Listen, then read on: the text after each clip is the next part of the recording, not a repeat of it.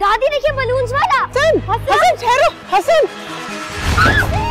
लोग तो किसी के लिए अपने आप को फांस भी नहीं चुपने देते तुमने तो अपनी जान को खतरे में डाला। जब जब तुम्हें देखता हूँ फिर से मोहब्बत हो जाती बाजी जी ये आपका इस घर के जो बड़े साहब है ना वो हर वक्त मुझे देखते रहते हैं।